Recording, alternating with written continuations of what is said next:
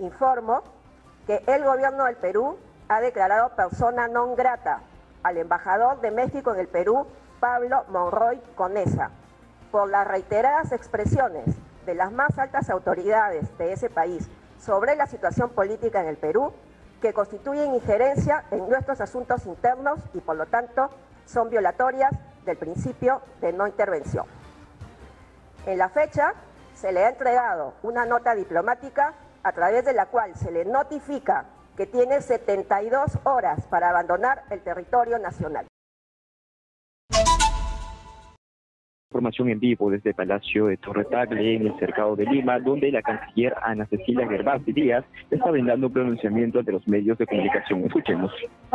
La separación de poderes y el respeto de las garantías de administración de justicia, incluyendo el debido proceso. El Estado de Derecho la separación de poderes y el respeto de las garantías de administración de justicia, incluyendo el debido proceso. La investigación preparatoria que se le sigue a la señora Paredes está referida a la presunta comisión de un delito común. El otorgamiento de los salvoconductos se realiza con reserva del derecho que asiste al Estado peruano de solicitar la eventual extradición de la señora Paredes Navarro de conformidad con el Tratado de Extradición entre la República del Perú y los Estados Unidos mexicanos de 2021, en caso de que las autoridades judiciales así lo requieran. El Ministerio de Relaciones Exteriores actúa con apego a la legalidad y el pleno respeto de las obligaciones internacionales contraídas por el Estado. En el marco de sus competencias, el Gobierno del Perú defenderá con la mayor firmeza el derecho que asiste al Estado a través de los poderes correspondientes de combatir la corrupción y de asegurar que los responsables sean juzgados con las garantías del debido proceso para evitar la impunidad.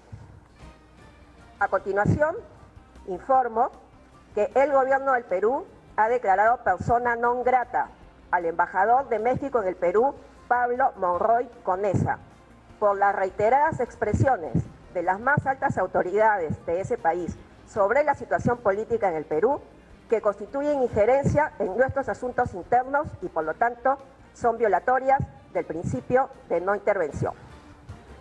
En la fecha se le ha entregado una nota diplomática a través de la cual se le notifica que tiene 72 horas para abandonar el territorio nacional. Esta decisión se ha tomado en base a las disposiciones pertinentes de la Convención de Viena sobre relaciones diplomáticas. Muchas gracias.